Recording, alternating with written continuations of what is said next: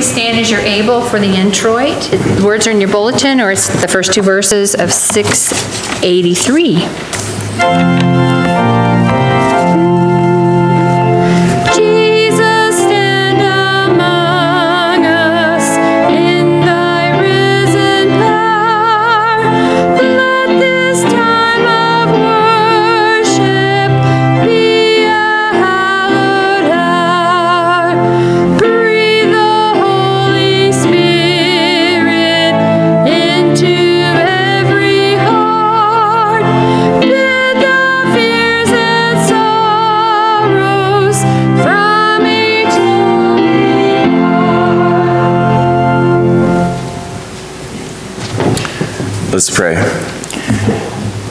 And loving Father, I just want to thank you for this beautiful Sabbath day that you've given to us. And God, at this moment, I just want to ask that your Spirit just fill this place, fill our hearts, fill our minds, Fill us with your love and help today, at this moment, in this place, for each and every one present to receive a blessing and to receive your word. Thank you so much for your love. In your name we pray. Amen. Please remain standing for opening hymn number 21 21.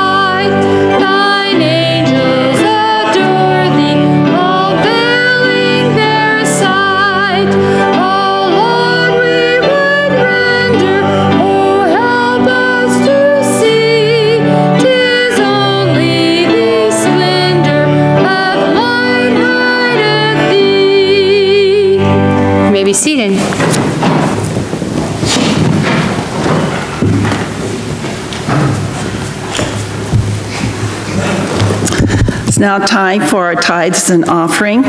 So um, our special offering today is for the church budget here at home, so please um, remember that and the very expenses that we have here, as um, well as the subsidy that's paid to our church school each month.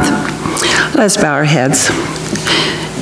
Dear Father in heaven, we are so thankful for your many blessings and all that you've given us and um, how we've just really been blessed here at our church. I sometimes think about Sabbaths in other areas of the world where they have a thatched roof with some poles and that is their church. And Lord, we know that you accept their praise and offering as much as you do ours here. We are thankful, Lord, for our many blessings. So, um, Lord, we know everything we have comes from you. So I ask, Lord, that you uh, take these offerings and bless them to their intended use. In Jesus' name we pray, amen.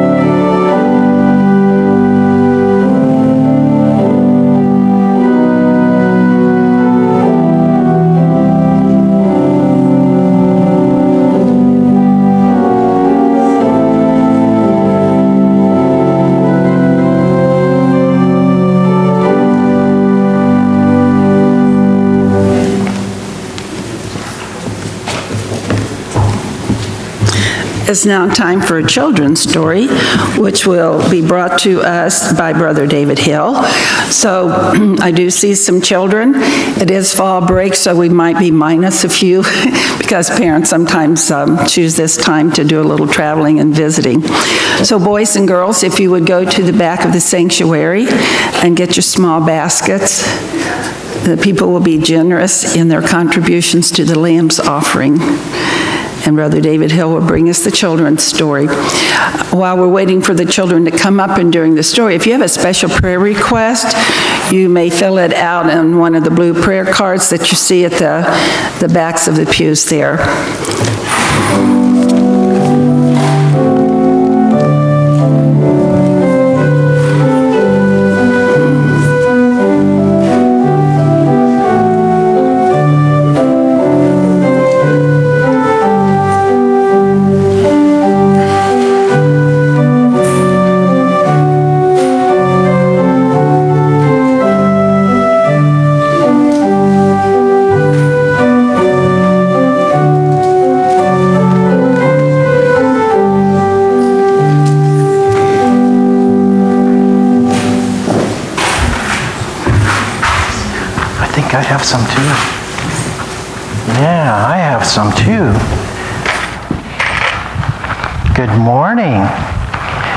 Sabbath. Hi, how are you? I have a story this morning. Hello, kitty. It's a story of David and his men. Okay. Well, this story is when David was in a cave. He had 600 men with him because he was running away from a mean king. This story is found in the Bible in chapter 24 of 1 Samuel. And this is a story where David is um, being pursued by king and uh, the king and about 3,000 of his men. And so there's this one uh, soldier who's running back to the group that David has, and he's got slipped his on some gravel, and he got his balance and ran on, and he's saying, "Saul and his soldiers are coming." He's telling David and his men, Saul and his soldiers, they're all coming. We need to hide. King Saul is coming with thousands of soldiers. Well, David is no longer a boy, he's a man. He had 600 men, and they quickly climbed up to a big cave where they could hide. The cave was very dark and still, and David and his men crouched behind these big rocks. They barely breathed, they were so quiet. Because you know, after running, you start to, you start to uh, breathe heavy. And, and Saul would have heard, heard that. But David had been running away for a long time, and they wanted to kill David. Do you know why? Because King Saul was jealous. He was jealous of David's victories in battle. Because the people loved David. They even made up a song about him, comparing him to King Saul. And King Saul didn't like that song at all. Well, suddenly a man walked into the cave. He was very, very tall. He was a big man. And you know who it was? It was King Saul. He came into the, into the cave by himself. And the king turned and faced the entrance of the cave, and he, and he squatted down and pushed his robe out behind him. And then one of the hiding soldiers, one of the hiding men of, of David said, Hey, look, that's King Saul. Let's kill him. Oh. David said, No, no, he's the king.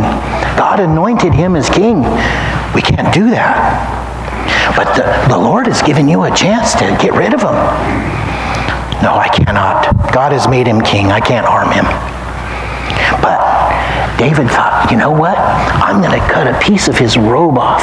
So he takes his knife and, and he sees part of King Saul's robe and he cuts a piece of it off. And, um, but you know, after he did that, he was kind of felt guilty about doing that. But what happened next was King Saul got up, left the cave from doing his business.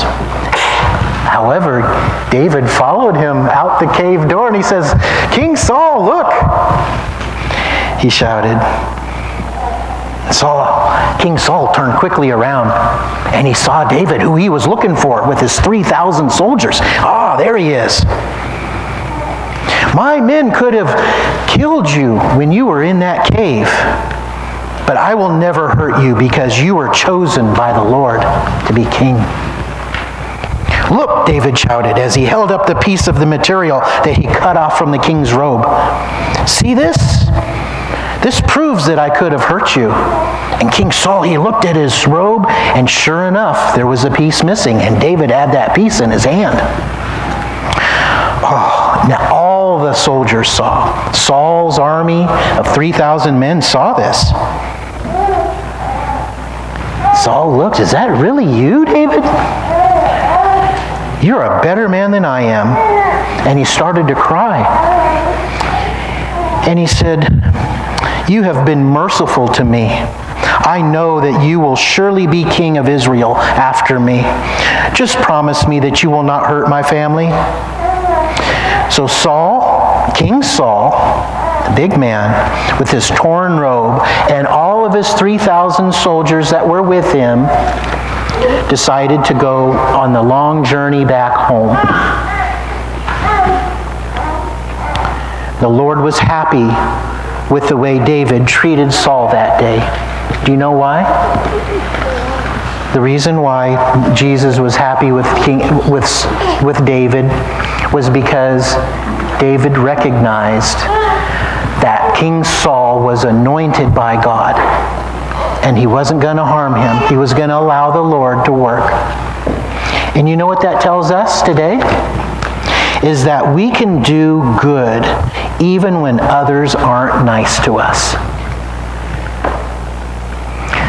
So I hope you can take that back with you. And remember, when somebody isn't nice to you, as long as you keep your eyes on Jesus and think about how I could be good, and even pray how I can be nice to this man or this woman or this boy or this girl, how I can be more like Jesus, Jesus will see that and that will make him very happy. So thank you for listening to the children's story today so that we can even do good when others aren't nice to us.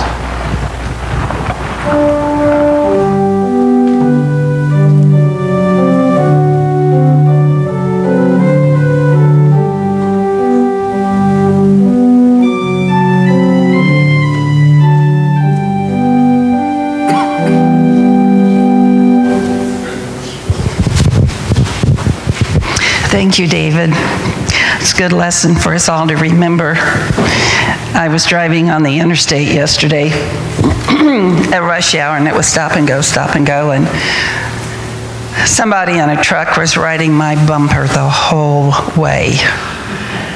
And, you know, the person, and I always try to keep my distance so I can stop if I have to. I was so afraid because I had to stop several times. And fortunately, I didn't get rear-ended, but I was starting to get really mad. and I thought, no road rage, no road rage. And finally, uh, we got on 65 and he was still there, but he went on ahead of me. So that, that, that is a good lesson for all of us to remember. Thank you, David. It's now time for a garden of prayer. If you have a blue prayer card, you are welcome to bring it up and put in my Bible here for the prayer warriors to pray over this week.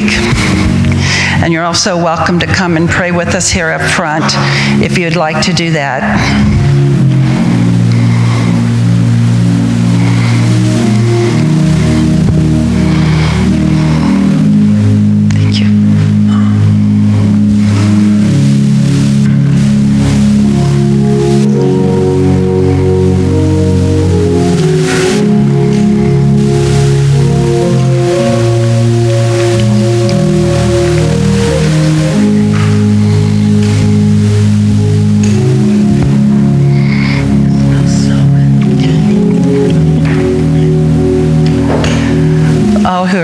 Please kneel.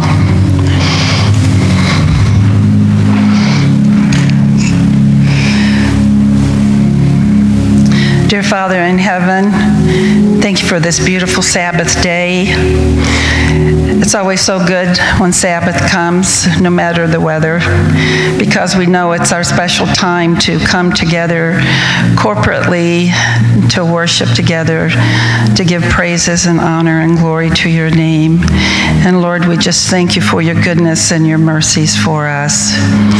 Lord, we have prayer requests, and I know there's unspoken ones within our hearts also. We ask, Lord, that you look at these prayer requests, and Lord, we are so thankful that because of Jesus, we can come boldly before your throne with, with our praises and with our prayer request. And Lord, so many of us carry burdens for loved ones, whether it's due to illness or their salvation or financial problems that they are going through.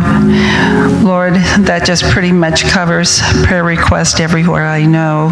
But Lord, we just pray that um, those who are not recognizing you as their Lord will will be wooed by your Holy Spirit. We have so many, Lord, that have not been here for a long time, so many of our children, and Lord, we just want to see them back here. Help us, Lord, and to, uh, to reach out to those, not only our children and our friends, but also to the community, Lord, to show them what love that you have for us.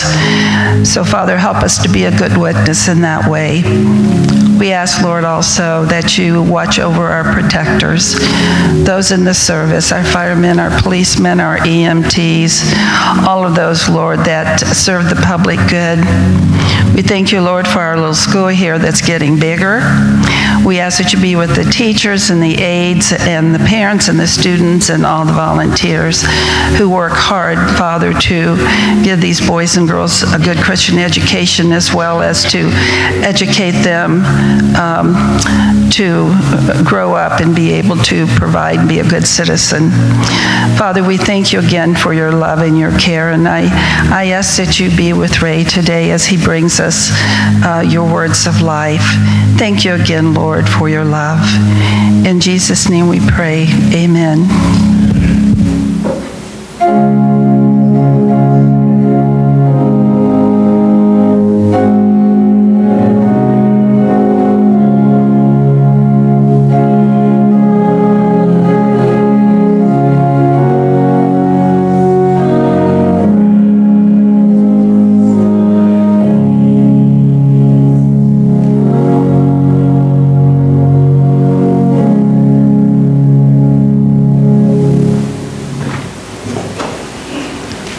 Brother Tony Chenault is going to bless us with special music.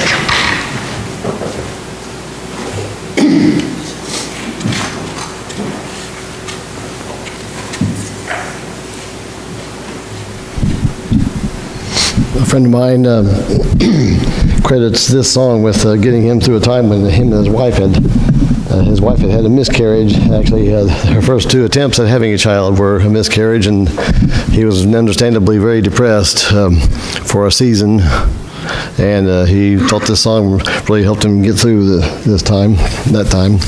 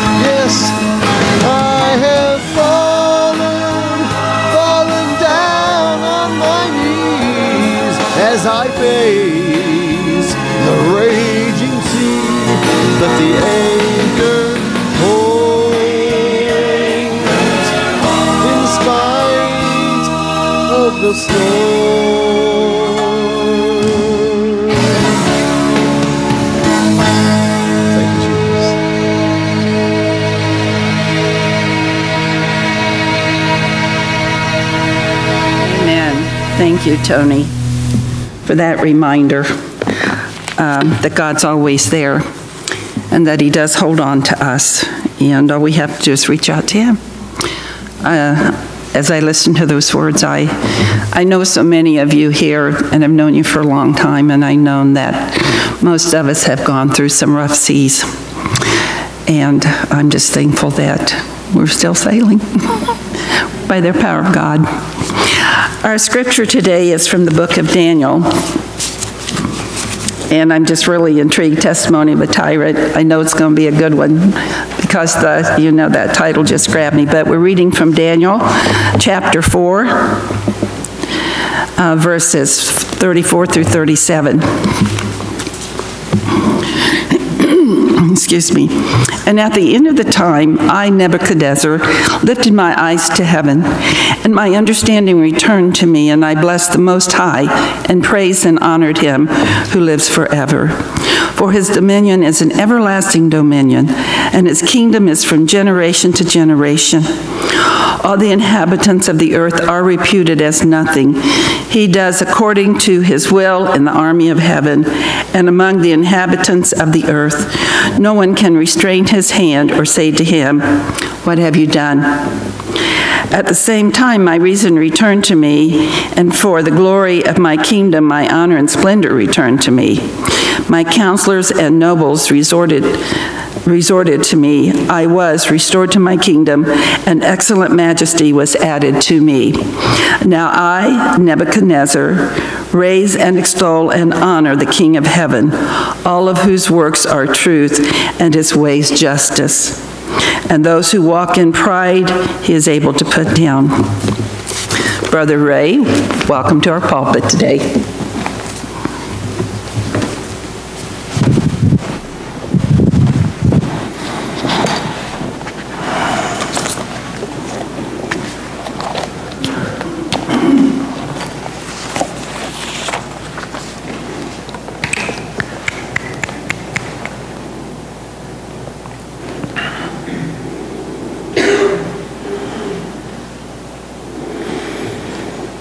Morning. Whew. God is good. God is good. Let's let's pray. Father, you are a good, good Father. I pray at this moment that your Spirit just be in this place. Empty me, fill me with you. And touch our hearts today, Lord. In your name we pray. Amen. I don't know if you're aware of it, but today is a day in the month of October. It is indeed. And October, um, it just so happens to be National Domestic Violence Awareness Month. Domestic violence. Ugh.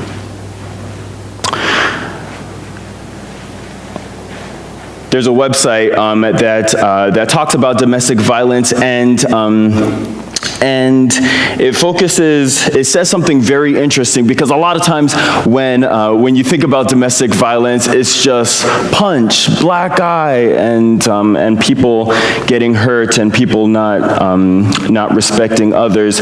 Uh, they, they make a point of mentioning domestic violence affects millions, both women and men of every race, religion, culture, and status. It's not just punches and black eyes, it's yelling, humiliation, stalking, manipulation, coercion, threats, and isolation.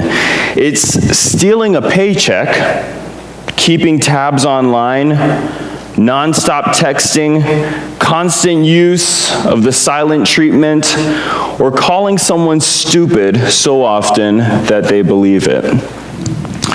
Now, when I read that, um, it, it, uh, it, it, spoke uh, true to me because um, I grew up in a house where, um, where there was domestic violence. And, and there's nothing that I detested more as I continue to grow up than just seeing manipulation in any form of way, whether it was physical, emotional, spiritual, psychological, mental. I did not like seeing manipulation because it's just so devastating to the person who's the victim, to the one, and um, and.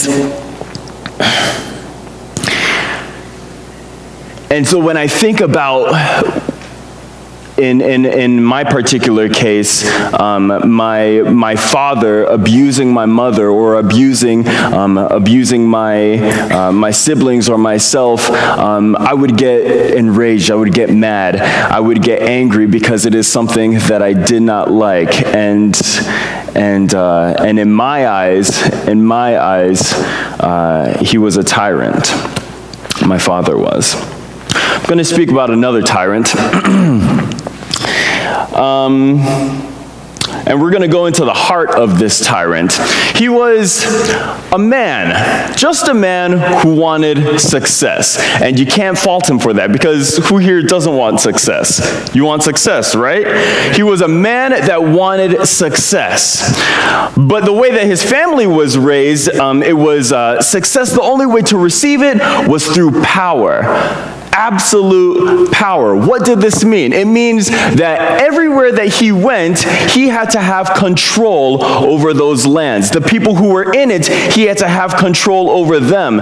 To him, in his mind, he could envision his kingdom lasting forever. He didn't want it to stop. He wanted to reap the benefits of it. He wanted his kids to reap the benefits of it. He wanted his kingdom to last forever. So he began he set off, conquering nations that were surrounding him. And, and, and when he conquered them, he realized that he wanted to, he wanted to capitalize on, on everything that he, could, um, that he could draw from the people. And he wanted the people, he wanted the people to serve him.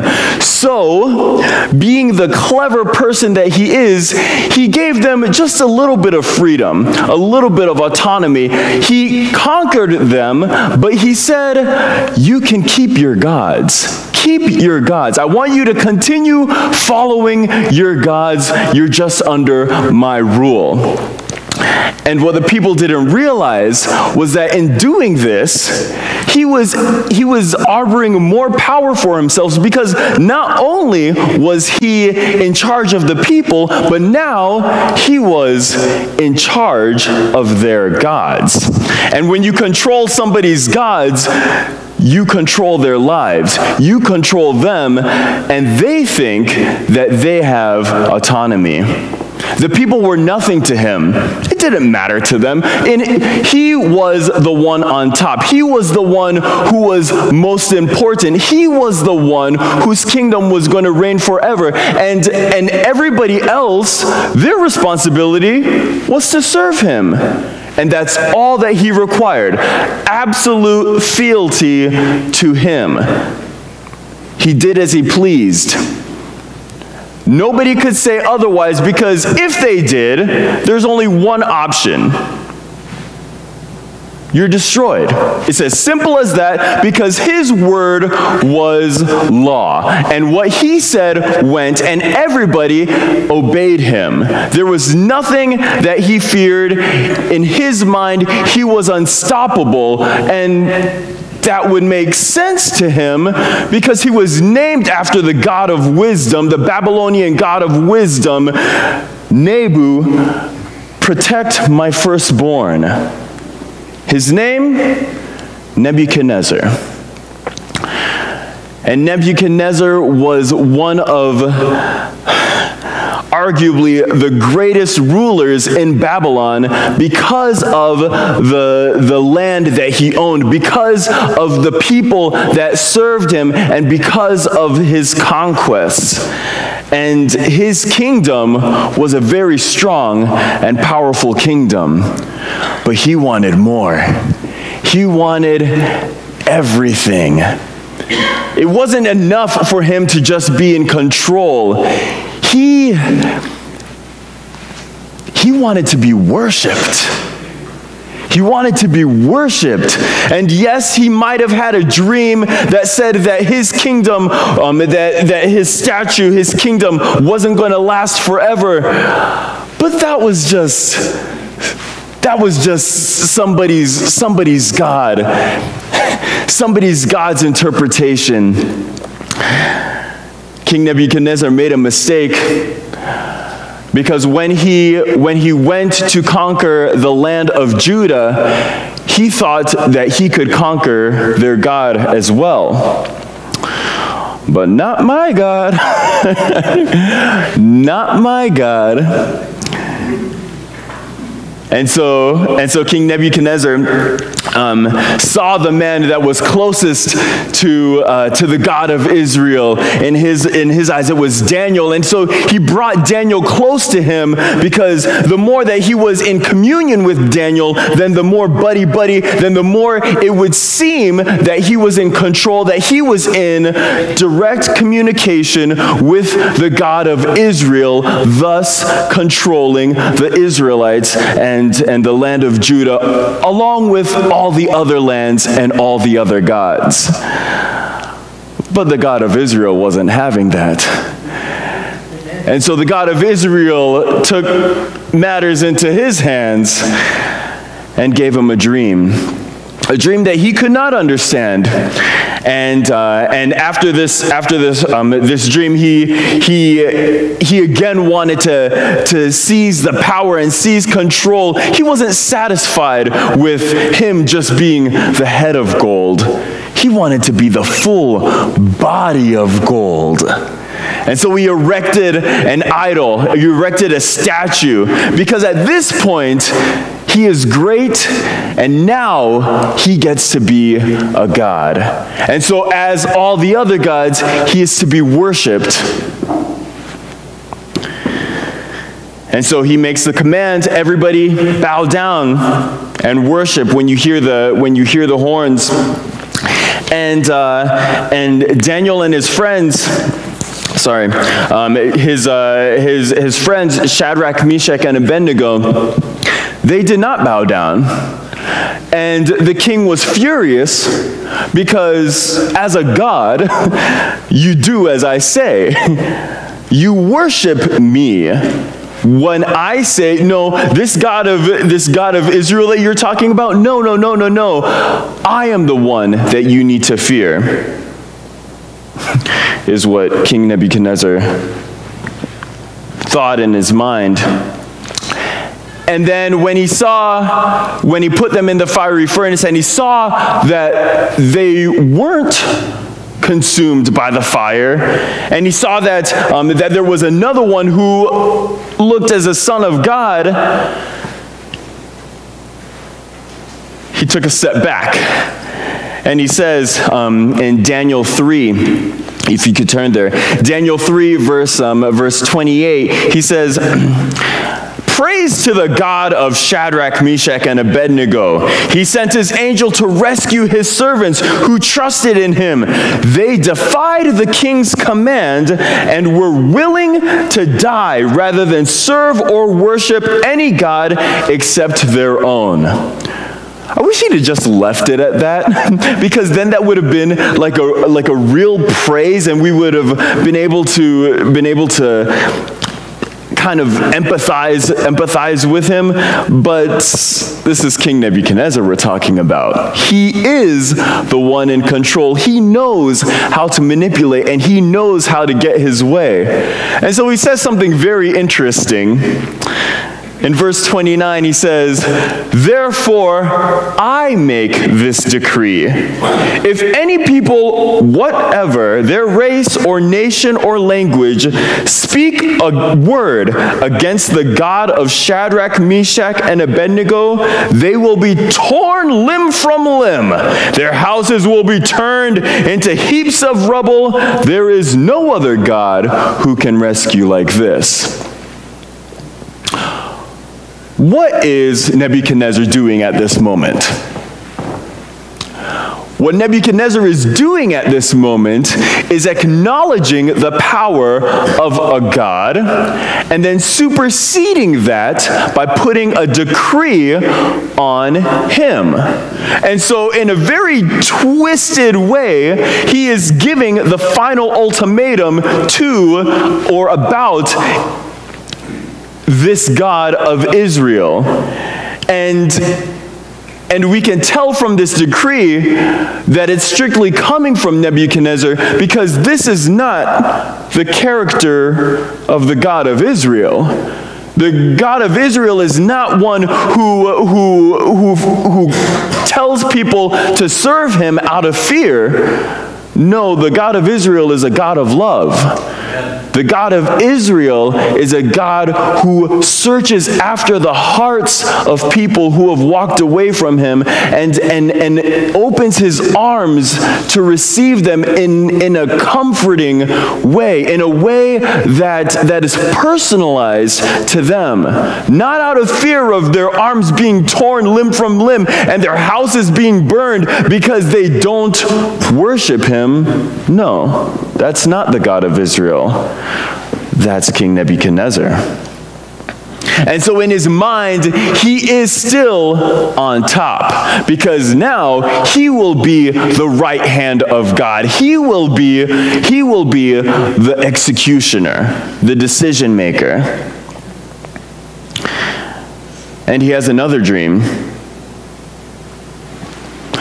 And and he calls Daniel in. And when Daniel explains this dream to him, Daniel makes sure he, Daniel is frightened, he's scared, and, and he's worried and he's concerned. And his heart goes out to King Nebuchadnezzar. And and and and Daniel tells King Nebuchadnezzar in chapter 4.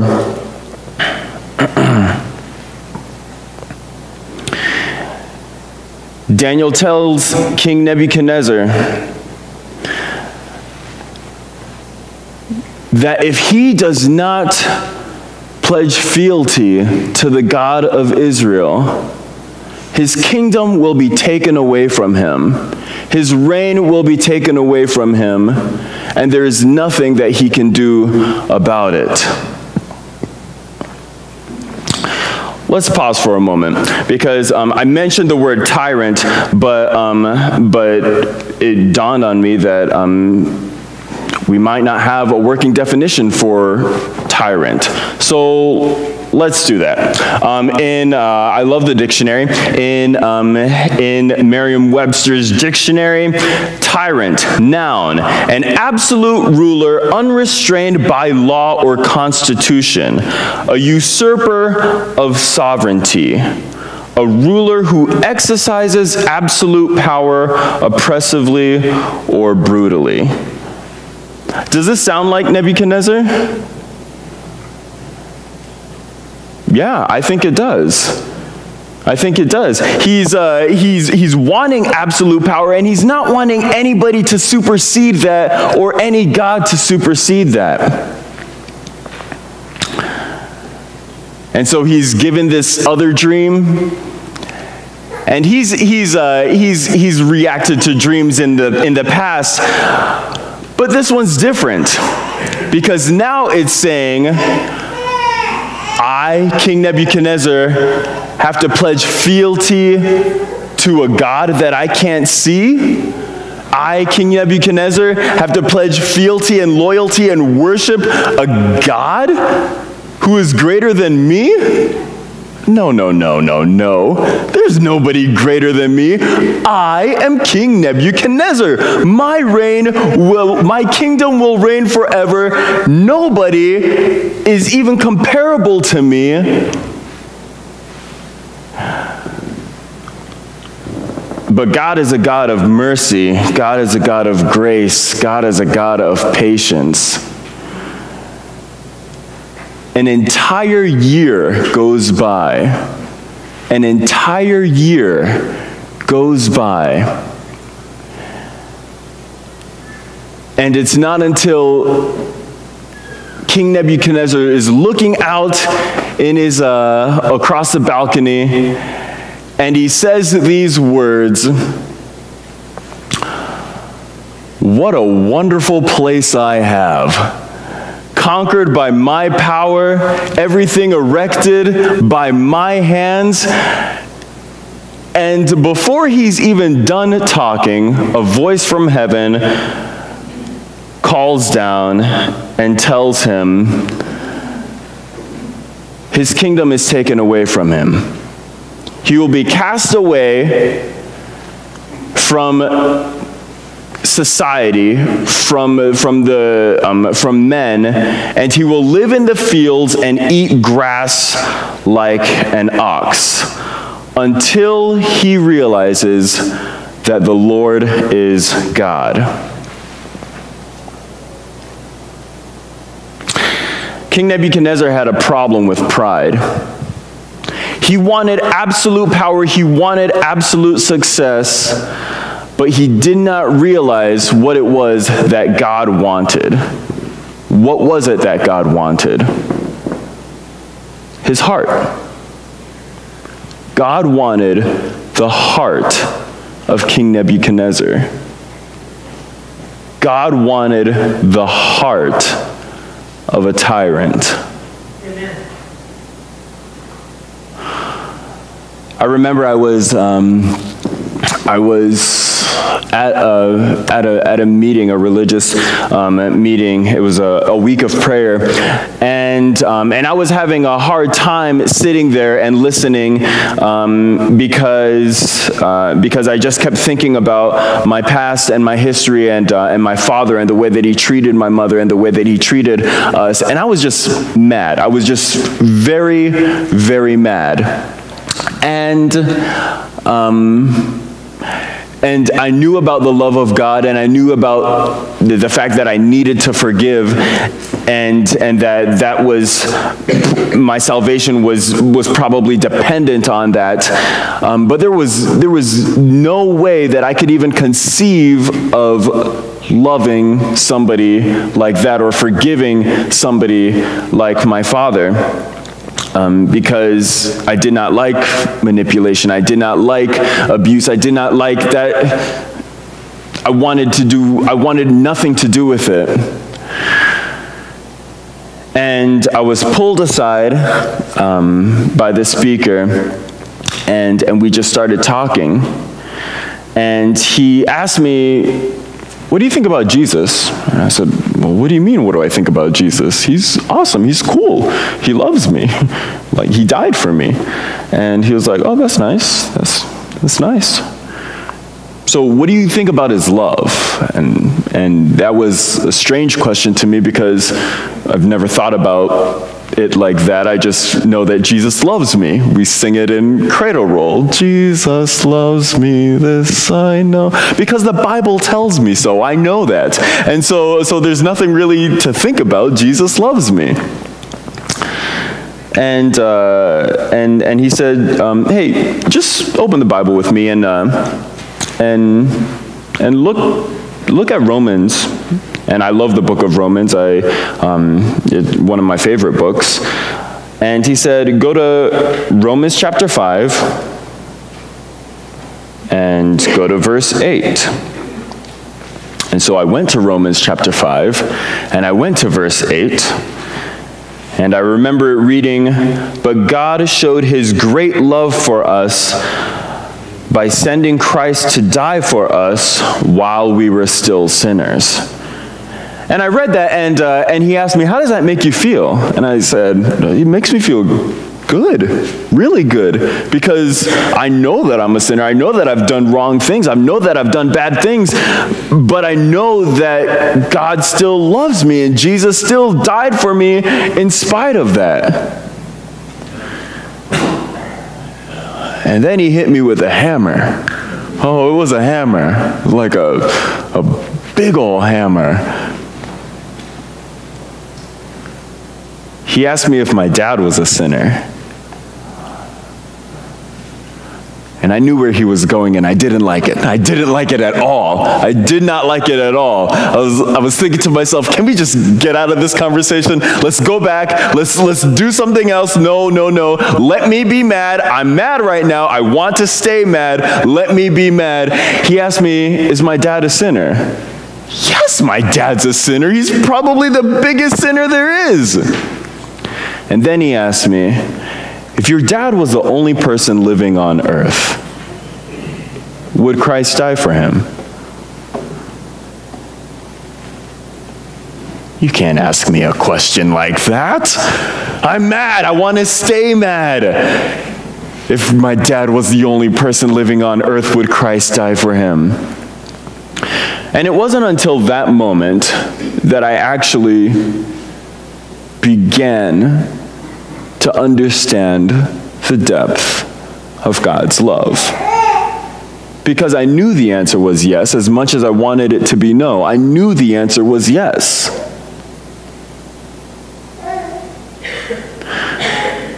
Because even though my dad was a tyrant, God was and is still searching for his heart.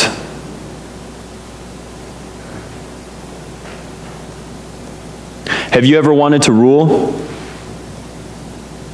Have you ever wanted to be in complete control, just like have absolute power? You might think to yourselves, no, no, no, that's not for me.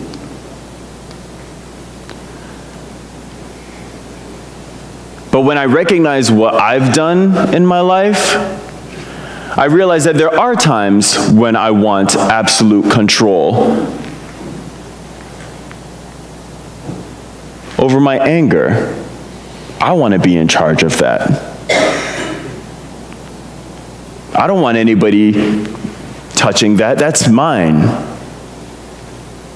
The choice to forgive? No, that's my choice. I don't want anybody having control of that. That's mine. I have control over that. Having patience with people? No, no, no, no, no. Don't, don't take control of that. That's mine. Choosing to love? No, no, no. That's, that's, my, I want control of that. I want absolute power.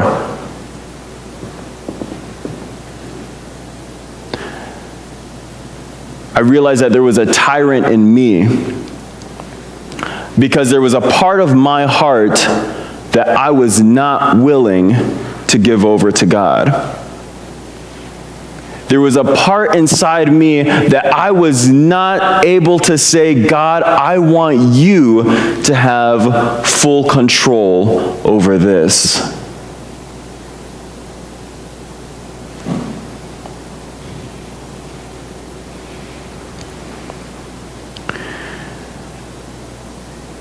What aspect of your life are you holding on to?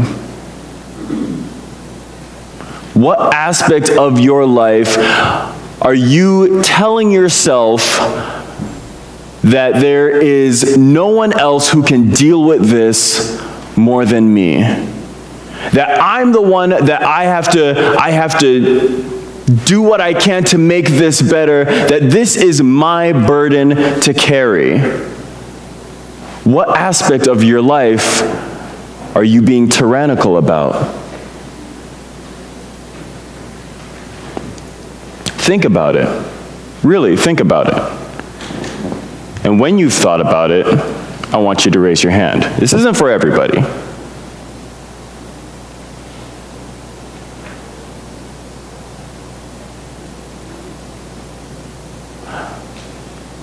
Think about a part of your heart that you have been unwilling to let God take control of.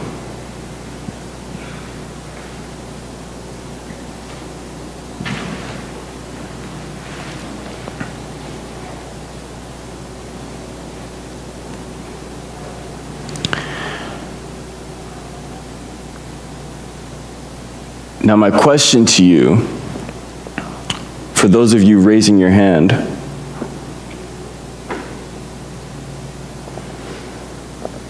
are you willing?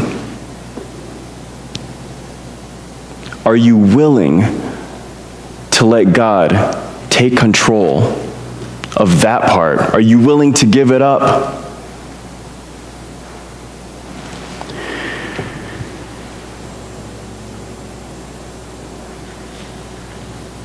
King Nebuchadnezzar spent seven years, seven years grazing with animals. We're not told what happens during those seven years, apart from the fact that he grew long nails and, and his hair was bushy and his teeth were, uh, and, uh, and he was just animalistic.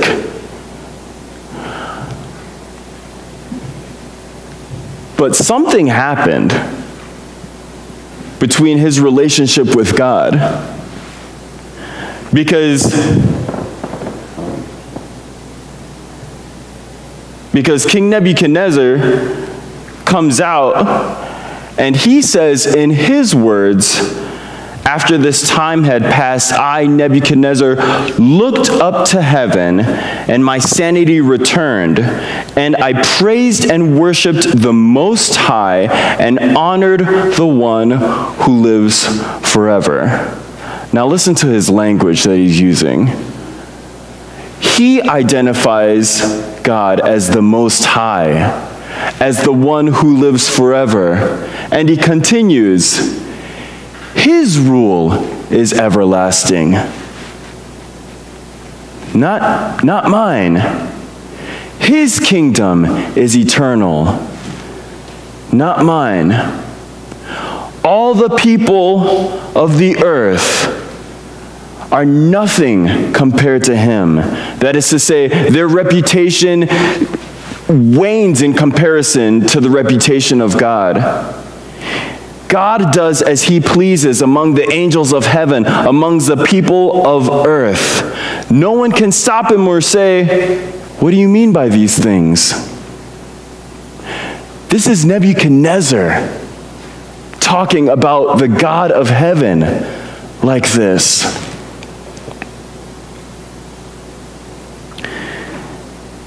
And he ends now I, Nebuchadnezzar, after his kingdom being fully restored to him and, and a higher honor than before,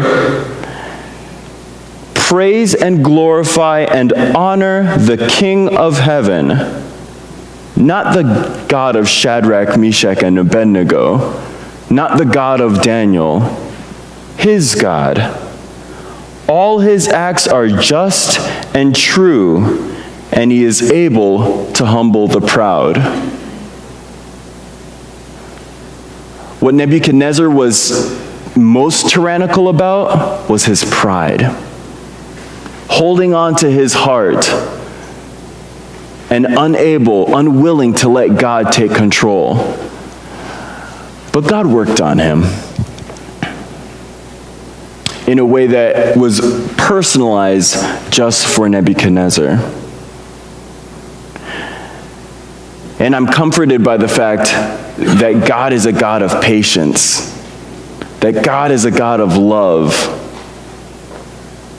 And no matter what I do,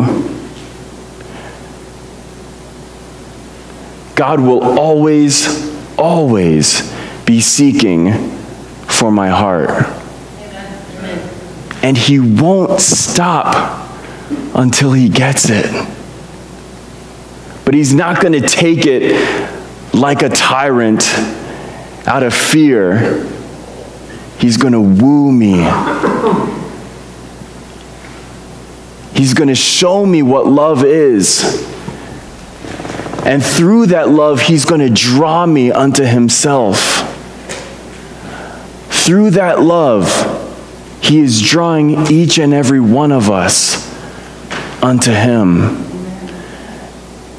Because even though man looks at the outward appearance, God is just focused on the heart.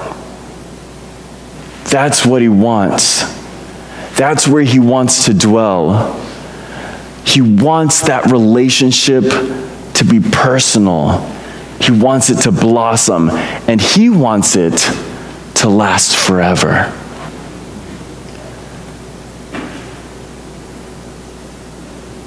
God loves you. If you haven't heard anybody tell you that before, I'm telling you now.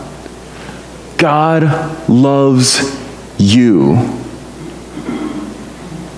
In your dirtiest state, your filthiest state, in, in your worst, He loves you at His most. And there is nothing nothing on earth that can separate you from his love.